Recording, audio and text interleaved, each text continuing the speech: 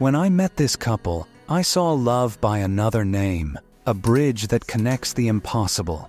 Why? When people found out I was dating an African, of course I wasn't accepted everywhere so much, but I knew God was on my side.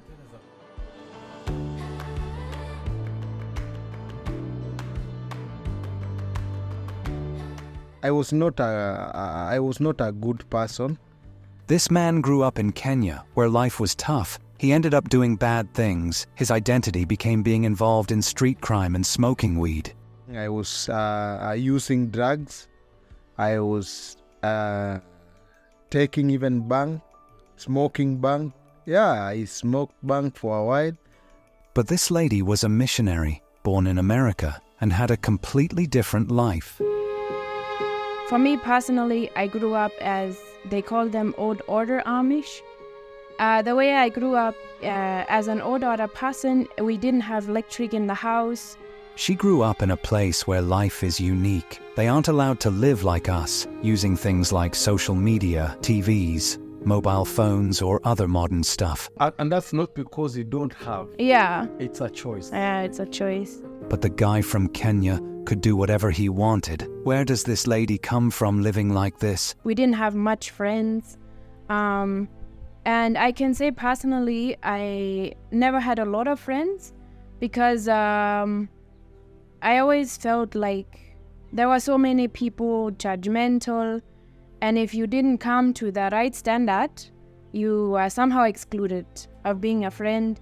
And for me, my heart has always been uh, to accept people for who they are. What makes their story so amazing is now they're married. When I came back, I came back on just to see him. That was my goal. I sold my Jeep that I was driving. That's fantastic. The thing that attracted me most to her, it was uh, she used to come to the kitchen to help me in cutting maybe carrots, cutting cabbage, and I was like, this lady, she can be a good wife. You might wonder how they met and fell in love while coming from such different backgrounds. How did they make it work? Luckily, I got a chance to meet them and hear their story. It was extremely incredible. Take a seat and prepare to hear why I called love a bridge that connects the impossible. My name's are Elvis Aluzimbi, and uh, I was born in western, western part of Kenya country. Uh, I was raised there. I went to school there from primary to high school. Uh, after that, I came to Nairobi, stayed in Nairobi for three years. Yeah, yeah, three years, and then I came to Thika, where I stay right now. When I was doing Mjengo, when I came to Thika, and I was doing Mjengo, uh, I was, I was not a, I was not a good person.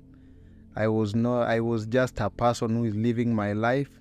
I was living. I was uh, using drugs.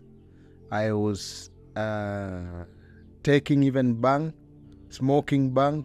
Yeah, I smoked bang for a while. Uh, I smoked bang because of one thing. I smoked it because of um, to give me strength to work because that job is so is so is so is so is so tough.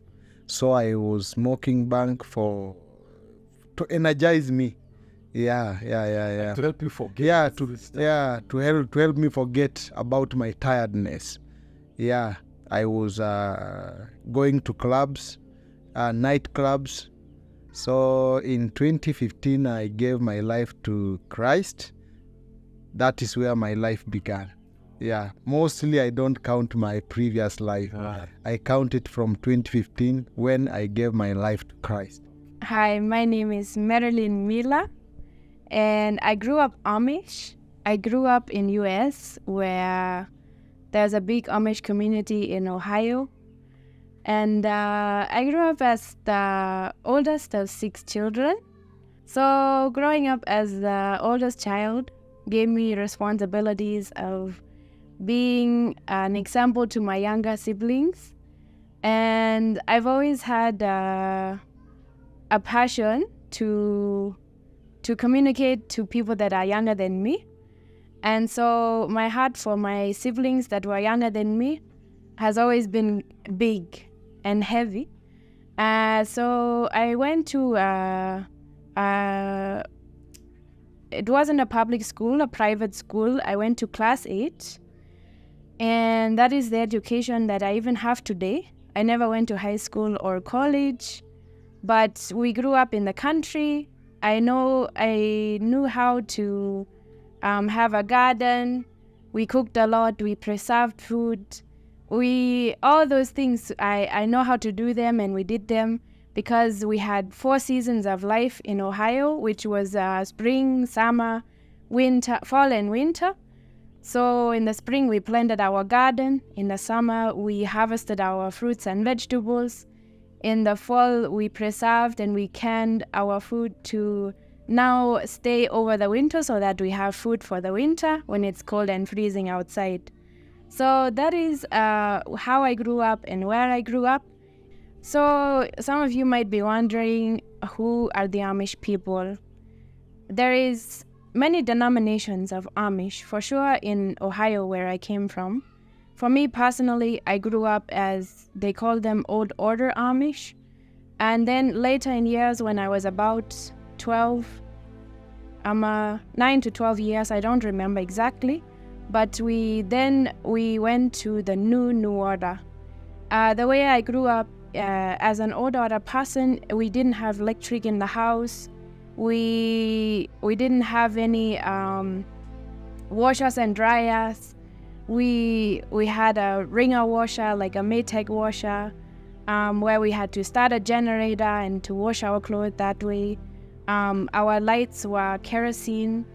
Yeah, that's that's basically what I can say. I think. And that's not because you don't have. Yeah. It's a choice. Yeah, it's a choice. And that in this generation, we still have such a people. Mm-hmm. Yeah. And we also grew up not having cars. For me, I grew up riding a carriage and a horse. And so, and bikes, we, we also had bikes. Uh, but cars, when I was growing up, I didn't know anything about them. Yeah. Other than, you know, maybe we would uh, get an Uber driver or something like that. So when now we changed to like uh, the New Order, my mom and dad were trying to to understand us children more and to help us to get a better life. Because I think they also realized that we were not happy where we were at. We didn't have much friends. Um, and I can say personally, I never had a lot of friends because um, I always felt like there were so many people judgmental. And if you didn't come to the right standard, you are somehow excluded of being a friend. And for me, my heart has always been uh, to accept people for who they are. And um, so I can say that for me, when we made the switch of going to Nunuwada, uh, it now gave me more the opportunity of even more confidently knowing that uh, I want to move on. Yeah. No order now you'll be allowed now to have like electricity. Yeah. We had electricity, not TVs. Uh-uh. No TVs. Uh, but we had electricity. We would get around with now tractors on the road, but we would still have the horse and carriage. We had smartphones. At the beginning, we were not allowed smartphones, but as the time went on, we had smartphones. But then they still in, uh, discouraged the internet. Um, but the point of you know being able to have YouTube or things like that, we would do it. We just yeah Find your yeah we would find our way yeah. Okay. I gave my life to Christ. Now I went through the process of discipleship. I went through uh, those uh, process uh, to grow deeper in Christ. Uh, for many up to up to now, I can say I'm still uh, in, in in in growing. I'm still growing in Christ. Uh, in 2015, it was after I gave my life to Christ. Life was so difficult because uh, I was no longer doing the construction. I stopped. I stopped because I knew if I continue do the, this work, I'll go back to my normal life. So I decided I'm going to stop and believe in God for a better job. or a better opportunity. Yeah, so I continue with my life, struggling. Life was so hard. I was even pulling uh, I mkokoteni. I don't know how to call it. Yeah, it's called cut. I was pulling it, and I, life was so difficult. At one point, I regretted this is the kind of life I want, but uh, I had friends who encouraged me throughout the, the, the throughout my salvation. I went through all those pulling cut, even I going to kuchimba mitaro. I don't know. Digging the Yeah, yeah, digging the foundations of houses. Now I went to to work on digging the foundations, and life was so difficult. But one thing uh, that that that kept me was my friends, just encouraging me. And um, in twenty in twenty in twenty nineteen, I met the I met my wife. Yeah, yeah, yeah. In 2019, things were now getting better. Yeah, a bit better. I was getting some opportunities uh, to go to cook somewhere. I was getting some opportunities to go and do some job somewhere. At, at, at, in 2019, I was working in a certain company in Nairobi. At least life was not it was not tough. I was getting something from that company, and uh, my life was getting better. And then 2019, when I met my wife, I didn't say anything or we didn't even knew if I'll marry her. I just saw her and How she did you, saw me. you met her? How did you meet her? Like, give us what was that day that made you meet? We were those days. I was now working. Uh, I was working in a certain organization as a, as a chef. I was not hired, but I was just going there to help. As a missioner, I was going to help there because I was also doing missionary with them. I was going to high schools, going to primary schools to preach there. Yeah, So you're a preacher. yeah, I, Oh, yeah, yeah. God, by God's grace, preachers here. by God's grace. As I was thinking of always uh, traveling abroad or being a missionary, specifically, actually, I've always wanted to be a missionary. Um, I started praying about it at a very young age. I was always, uh, I was grew uh, like I grew up in a Christian home where we uh, were taught about the Bible a lot, um, and so I always knew I wanted to be a missionary. I didn't know when or how or where I would go. So I just prayed and I talked to God. And I truly feel like He has brought us to where I'm at today.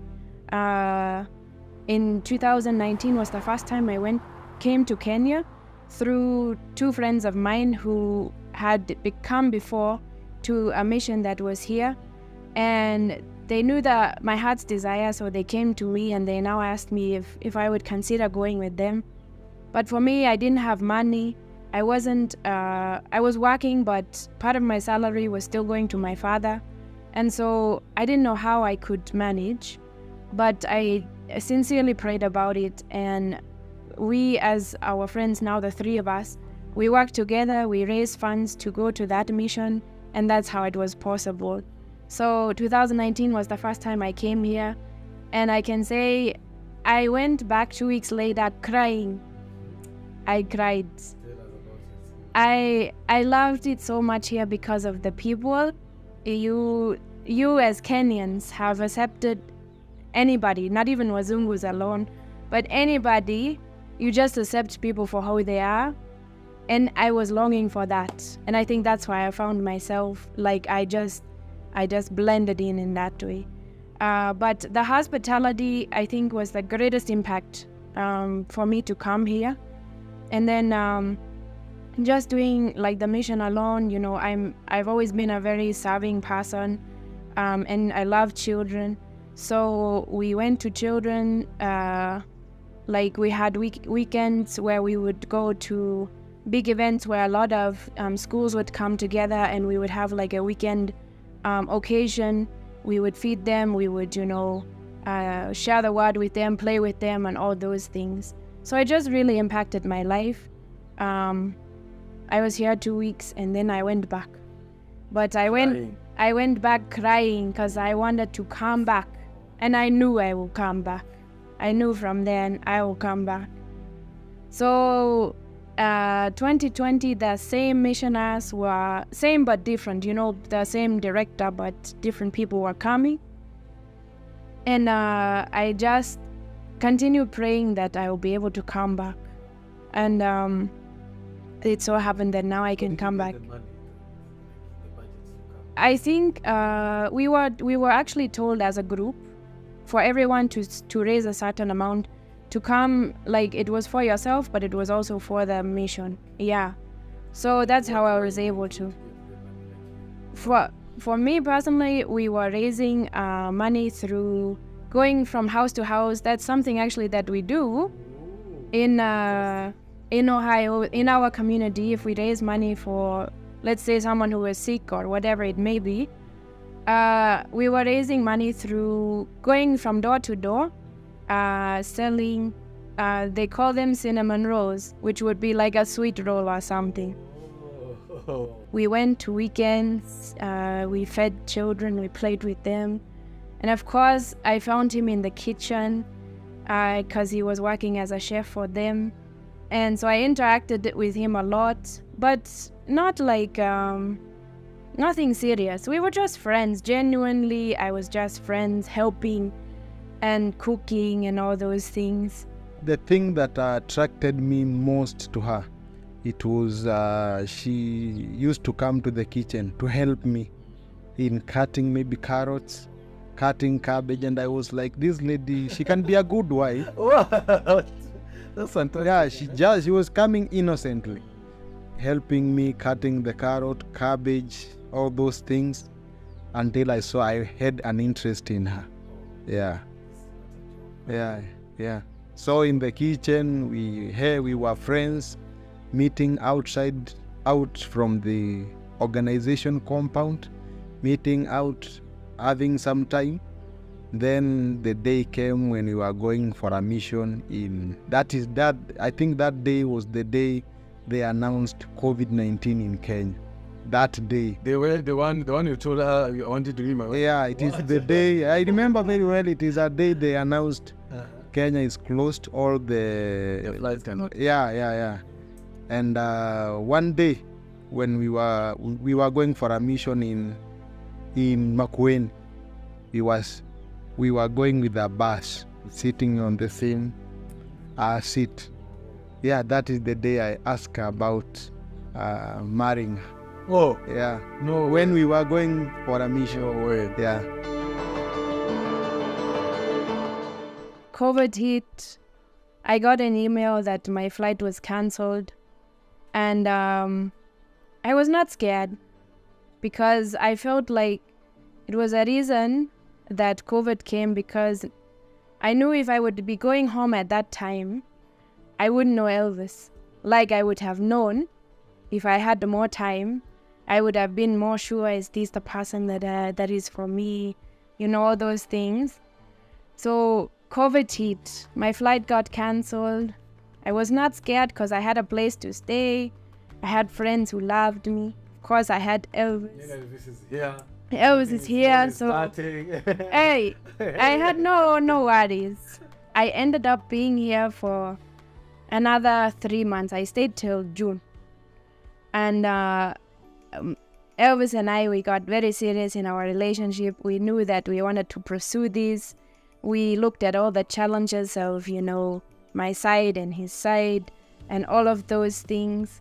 We prayed about it so much. There was a there was one week that we didn't contact each other. We prayed about our relationship. Uh-huh. Yes, we took one week. I prayed, he prayed, we had no contact. Because we, we truly wanted to know is this what God has for us? Is this his, his desire for us? And so uh, after we got back together, we shared what we were feeling, how God was leading us. And we felt like God was just leading us together. And that's, we had no. Uh, no issues of not pursuing our relationship and we felt like god was in the middle of it so that's how we continued um now coming june I went home. I uh, scheduled a flight that was going out. I went home. And when I came back home, it was a challenge now.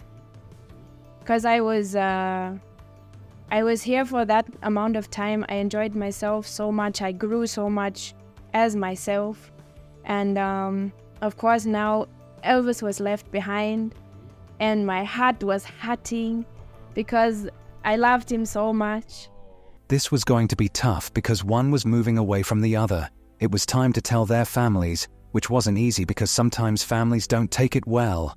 For one family, it was good news, but for the other, it was tough due to certain family members and the community's opinions. However, despite the challenges, they believed that destiny meant they were meant to be together, and nothing could tear them apart. First of all, when I told my mom I have a girl that I want to marry, she was so interested to know who the girl is. When we went uh, to see my mom and dad, they were happy. Oh, Uh, they accepted. her. We went the first day, the second day, and then the third one. They prayed for us and blessed us to go and get married. Yeah. my my family at home knew about my relationship before I came home. I let them know that there is someone here that we are we are creating a friendship, and uh, we are hoping that things can lead on. So I went back after that for for now up to almost one year before I came back to Kenya. So we had a long distance relationship up to that point. Of course, I had challenges at home. And um, when people found out I was dating an African, of course, I wasn't accepted everywhere so much. But I knew God was on my side. If there was something that I was not to do, God was going to be in the way of it. Like, uh, for example, when I was to come back and and see him, I had no money. And so I was praying that God, if this is not your will, I will not go. Uh, there was going to be some way I would not be able to go. But again, he showed me a way. And I know that he is faithful. And I knew that if it was not for me, won't ask any help Hmm. now because yeah, because of challenges here and there, I couldn't ask for anyone's help.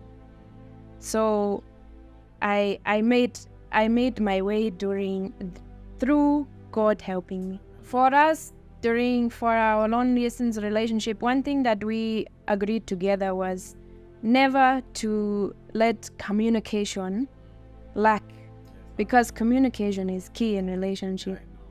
So we would always uh, make sure that we do a video call once a day. I did it so openly. Although some did not agree with what I was going through, I never hid my relationship. Never hid my relationship. Yes. Uh, when I made calls, I I called no matter who was there.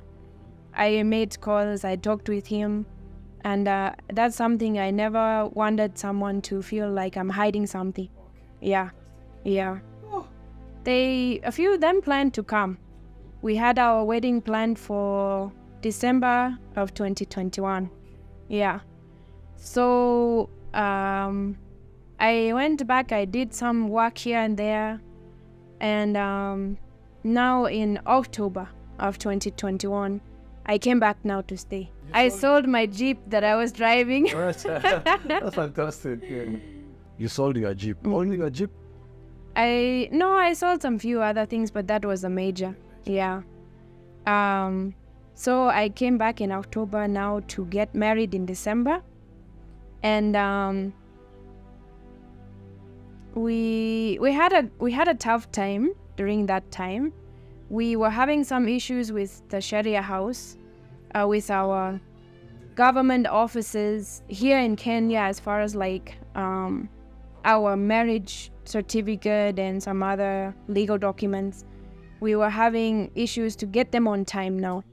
After facing many challenges, they finally reached their goal. Elvis met his brothers in law, daughters in law, and the family in general. Their journey culminated in a wedding ceremony that united them as husband and wife. Today, they're a happy family. I was happy to visit them because of how they welcomed me. I saw love among them, and they lead a fulfilling life. They have everything they need at home, and they're engaged in activities that benefit both themselves and society, contributing to the expansion of their family and community. We had our wedding planned for December the 15th, 18th. It was December the 18th. And we didn't get married till December the 23rd because of those things. So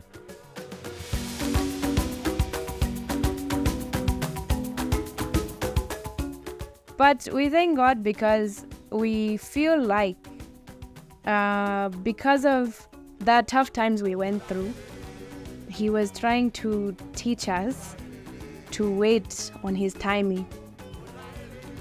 And so I can tell people out there don't give up, wait on God's timing. But we are grateful because today we have we have now been married for two years and two months. And that's why we are. My my life i can for me my, I, I you know my life is i i i have so many dimensions yeah it is one my vision for my family is to raise my children in a godly way. Yeah to have my four boys and raise them in a godly way and uh, to make sure the life that I went through in my younger age, the life that I went through in a younger age, my children not to go the same. you said four boys. That's about Yeah, that is my vision. okay. So I don't know. okay, it's okay. It's okay. Yeah, yeah, yeah. What about I love boys. That's when when I talk boys, I love boys so much. Yeah, but if God gives me a girl, mm-hmm. I'll appreciate a lot. But my desire, what will you do with your girl now when you I'll appreciate a lot, and I'll raise them. Yeah, in the same way. I normally see you with the children, so many children on social media. what are you doing with them? now that now now, now comes to my vision in our in our organization that is a organization that we usually go to children's home to feed them but before i go to to my vision to the other side another thing is to is to impact community as aluzimbi and Marilyn apart from organization we want to see uh, we want to see that the community that we are living in it is changed community. Yeah yeah yeah. It is a changed community in terms of uh, in terms of um, uh, maybe jobs opportunity around or maybe maybe opportunities for businesses that is that is um, that is uh, The a vision that for me I have for my family. Yeah. We want to see a life changed in the community. Yeah, that one, the, the thing that is pushing me in that direction, it is my life. That's why I'm, I'm doing cuckoos and chicken and also YouTube. We sat down with my wife and we said, if, when, not if, I don't want to use the word if, when our YouTube grows, when our business grows, there is a certain percentage Mm. that will go to the community to to create get yeah job yeah to create job opportunities yeah So, about the vision for our family, of course, I stand behind my husband. I want to support him because I know uh, he has great desires, and his desire is my desire as well. Uh, he has mentioned he wants four boys. For me, I would love to be a boy mom. Uh, if God blesses us with four boys, that was going to be well and good. But there's that one little thing in me that at least I want one girl. But whatever God brings for us, we will be happy and we will teach them. Yes. our organization is empower kijana program whereby me and my wife, we are we are leaders, and we have other leaders. We have our chairman. We have other directors, and uh, Empower Kijana program. Uh, our vision is to feed, educate, and also to empower community. Yeah, yeah, yeah. That's our main main focus is to see the children are fed, uh, they are educated, and they are also empowered in the community. And um, Empower Kijana has been there for the last three years. The last three years we've been in existence. It started before even we get married. Yeah. It started, maybe people can do their mathematics and say you've been married for two years. Yeah. But it, it has been there before we get married. And uh, that is our vision. That's why we, we sat down and we we thought of where can we start this this organization? Where can we start empowering? Where can we start feeding? And we thought of children's homes. Yeah, and then we saw like we can go to children's homes, go there, feed them, select or look around the children that are not in school, see if we can get funds, take them to school. Those that have finished school in the children's home, we can look for opportunities to empower them with the opportunities. Yeah, yeah, yeah. That's why we started with children's homes. And if you go and if you go on our channel, you can see more, more, more, more videos for children's homes. Yeah, yeah, yeah. So I can say that I support this, the program that we have 100%, and I can't wait to see how far we will be able to go because I know there is great things in store for us. Yeah. Fantastic. Their work is truly admirable and has touched many lives since its inception. This organization has supported numerous families in various ways, ensuring many children have access to education and meals. They became a blessing to many. If you're interested in supporting their charitable activities, you can follow them on social media or through their organization's page. uh, as director of Empower Kijana program, I want to uh, to talk to people that are watching uh, this channel, Afrimax. I want to tell you that we Empower Kijana program, we are in Africa, we are in Kenya. We are inviting you to donate your small dollars to our account so that we can reach those children in children's homes to feed them. We can reach to, to, to, to educate them. We can reach to empower them. Our vision is just to eradicate poverty in the community, to make sure that community is eradicated from every poverty and children are in school and mothers are having work or a job to do. Fathers are having something to do. That is our our our, our vision. That is our main focus as empower kijana. We want to see that community is changed. We want to see uh, things happening. And I want to promise you that your money when you donate we will make sure it has gone to the right way or it has been used to the right way. We as Empower Kijana. Before I go to my YouTube channel, you can go to www.empowerkijana.com. .com. That is .org. That is our our website on Empower Kijana program. Go there and you will find more information. More information. Also, you can find us in Empower TV. We have also our channel. For yeah, Empower. yeah. We oh. we have two channels, one for us and one for Empower. Mm. Go get us from Empower TV. You will see us, you will see our our work, you will see what we've done so far in, in Kenya. We have gone to so many children's home. Almost now we can say almost 50 children's home for the last three years. We have gone to so many children's homes and we've seen the need and we've we are working on it on how we can uh, on how we can partner with people around the world. Yeah. So, guys, the way that you can reach me, you can reach me and my husband is through our YouTube channel. We are, we are called Elvis and Marilyn Aluzimbi. Uh, we also have Instagram. You can connect with me on uh, Instagram at Mrs. underscore Elvis. And I also have TikTok, which is also under Mrs. underscore Elvis. So there's many handles you can reach us. So be sure that you go to our YouTube, you go to my Instagram, you go to my TikTok. Let's connect and let's support each other. As we close their story, they both have an important message. Right now, uh, I want to tell uh, mom and dad from US that Elvis loves you so much. Doesn't matter what happened in my life, what happened in your life, but I'm here.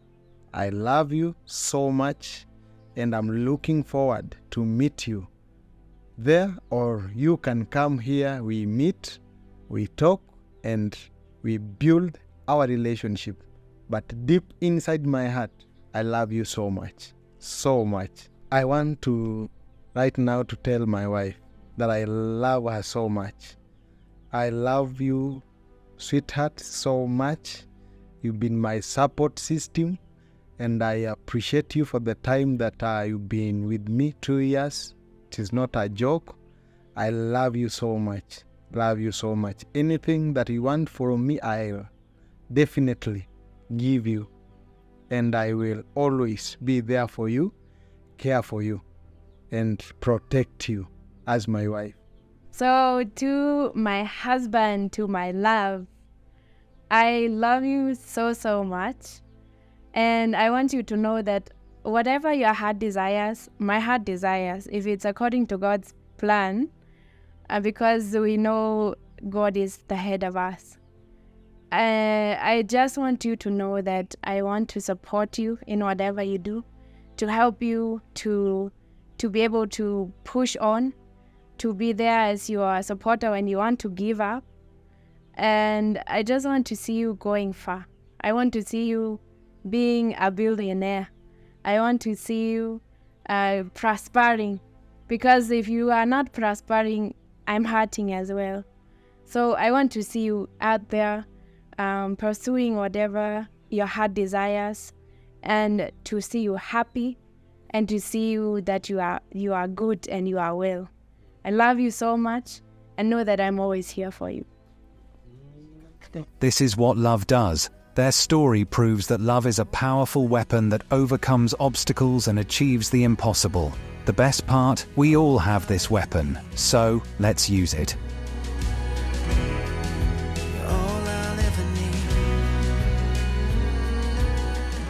Thank you for watching. I am Simon Greenwood, and this is Afrimax English. Share and don't forget to subscribe.